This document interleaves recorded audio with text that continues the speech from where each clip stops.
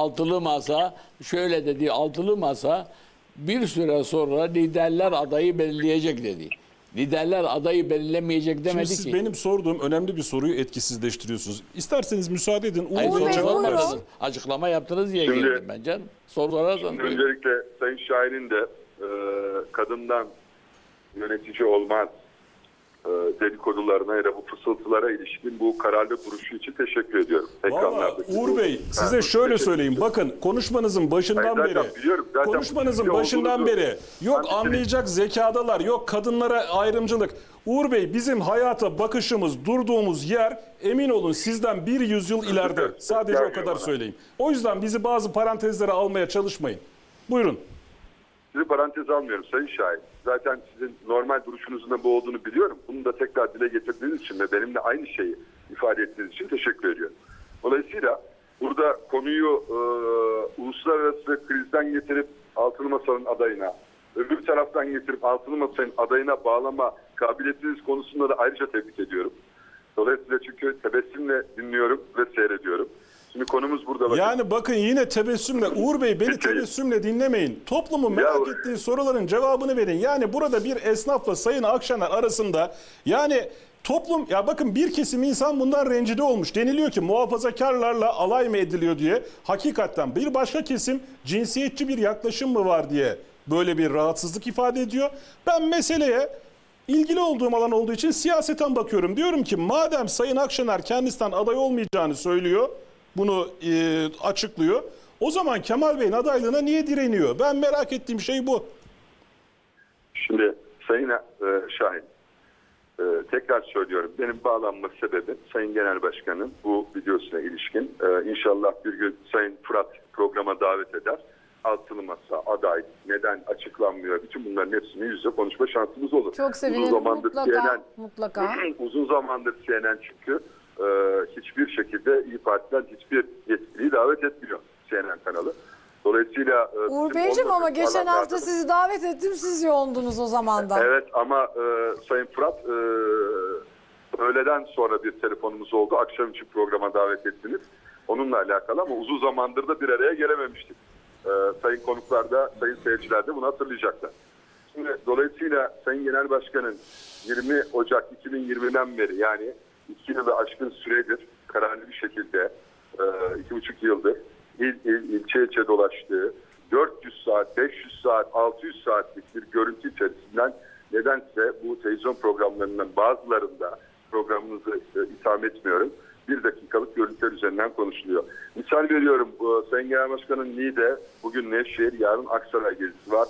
Niğde ve Nevşehir'den iki tane e, serzeniş vardı. Bu tanımadığımız normal vatandaşımız bu. 17 yıllık bir öğretmenin uzman öğretmenlik ve baş öğretmenlik sınavının iptaline ilişkin talebimi buradan iletiyorum diyor. Bir çiftçi hanım kardeşimiz diyor ki bu yıl kızım KPSS'ye girdi.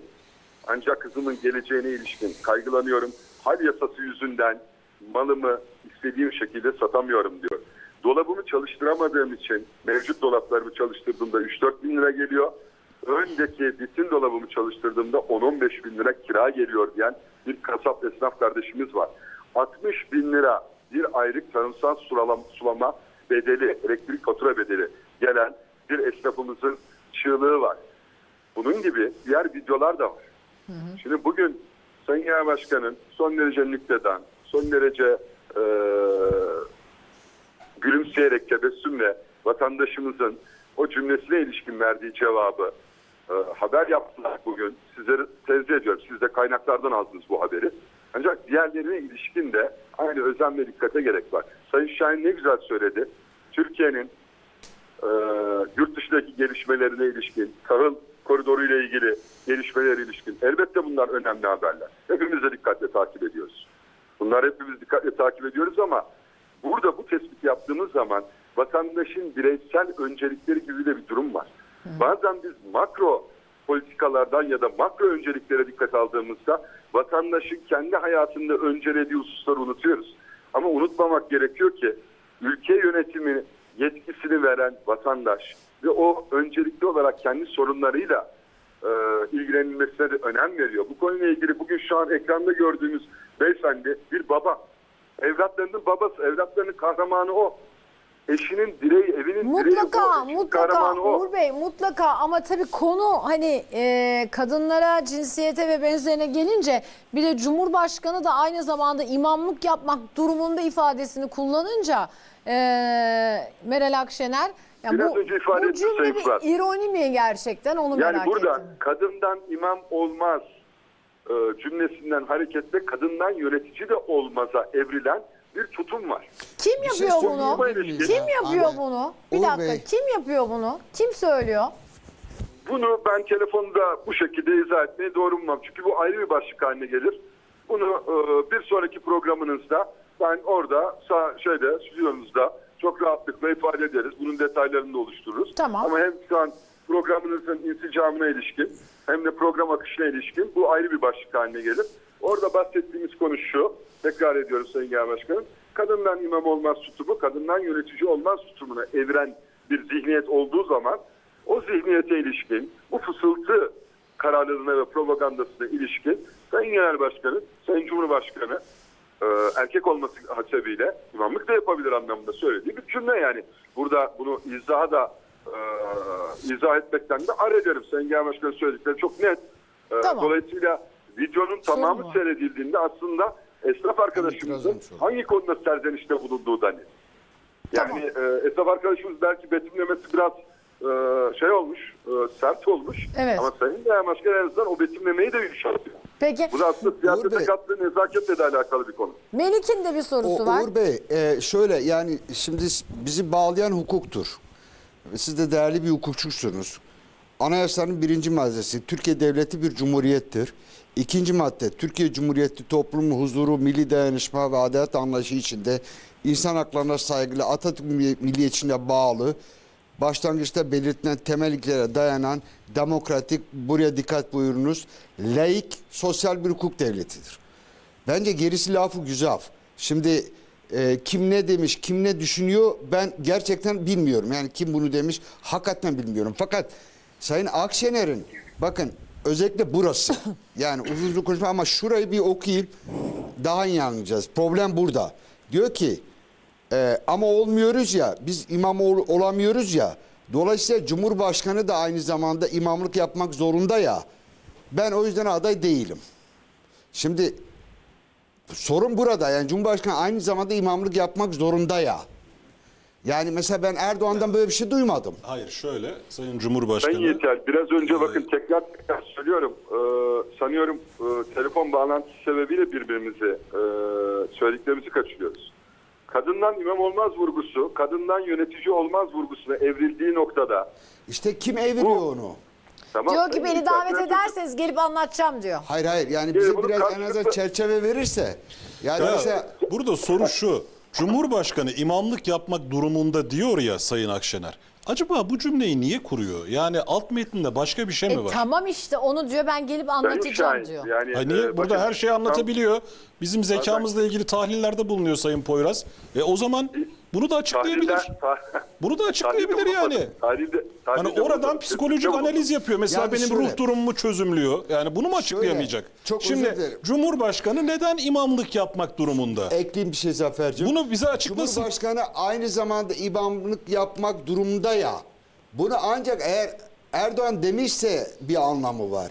Ya ama Erdoğan Bakkal, dememiş ki. Niye Bakkal Mehmet Erdoğan'a? Efendi mi de, Bakkal Mehmet Efendi demişse siz niye Bakın ben size bunun analizini yapayım. Ben stüdyodayım ya o avantajı kullanayım.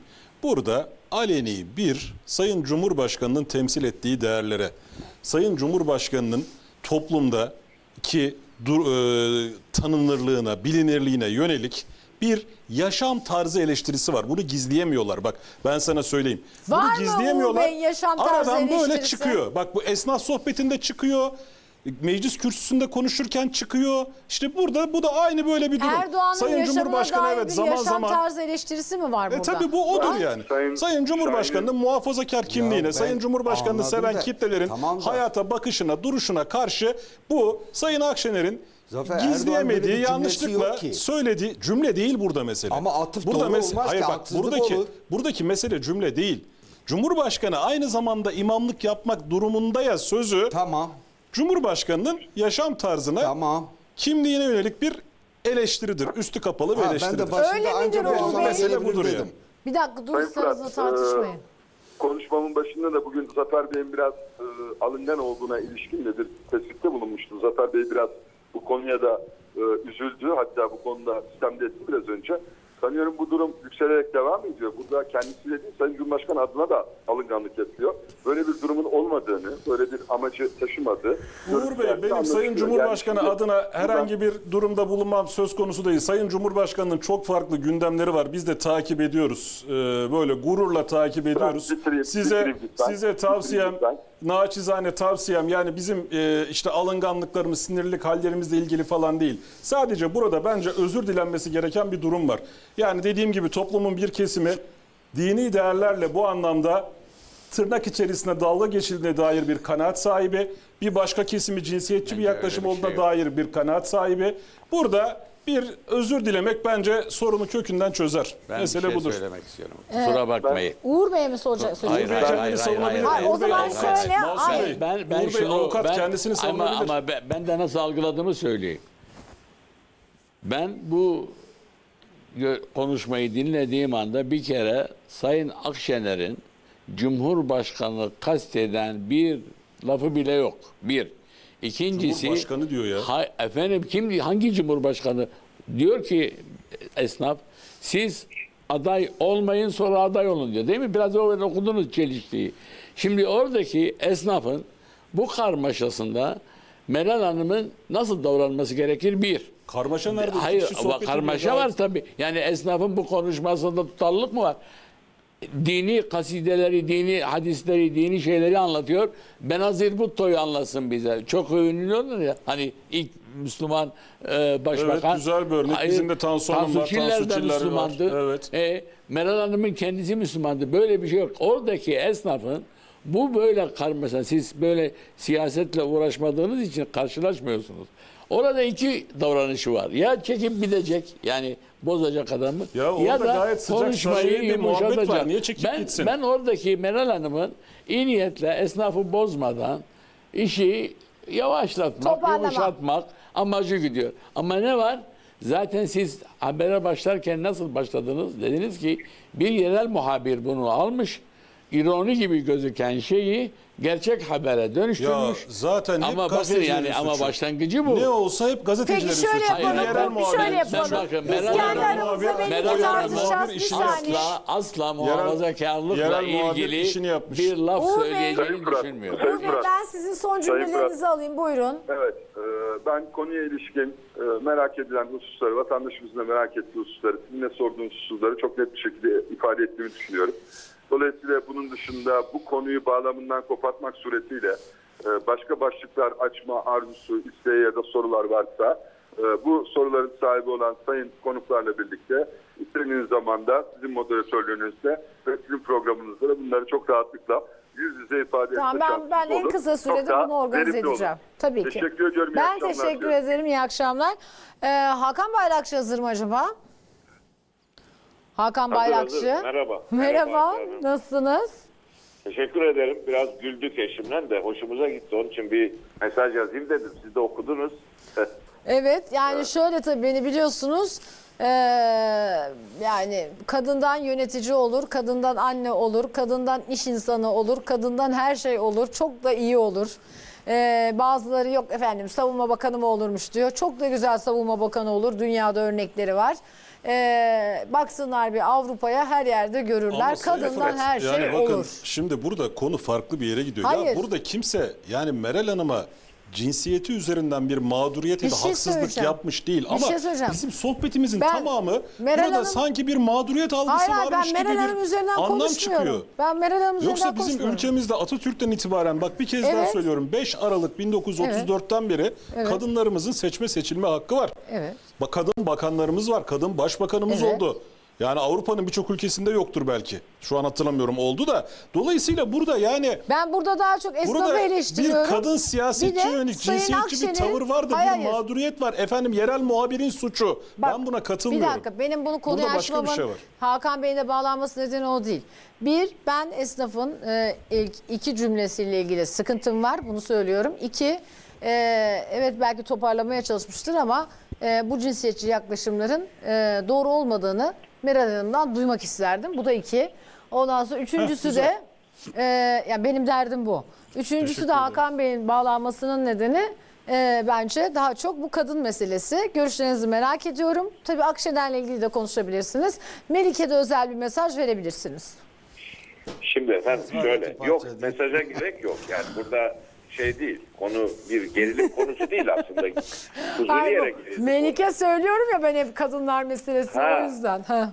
E, biliyorum biliyorum zaten ona da o konuya da güldük de şimdi şöyle burada olay aslında çok gereksiz yere gerildi çünkü Ya niye dilim lal olaydı Ben ya. size Siz de her şey katılıyorum, olmayın Hande dedim abi. abi. E, olay e, esnafın birazcık ha- e, Meral Hanım'ı galiba anladığım kadarıyla hani biraz böyle demoralize etmiş çünkü şimdi banttan izledim e, yüz hatlarında da hafif bir sitem var Meral Akşener hanımefendinin Sayın Genel Başkan'ın Ee, onu fark ediyorum. Birazcık orada esnafa sitemli bir hinayeli konuşma yapıyor. Yani burada ne Cumhurbaşkanı hedef alınmış, ne İslami bir konu hedef alınmış, ne dini bir konu hedef alınmış.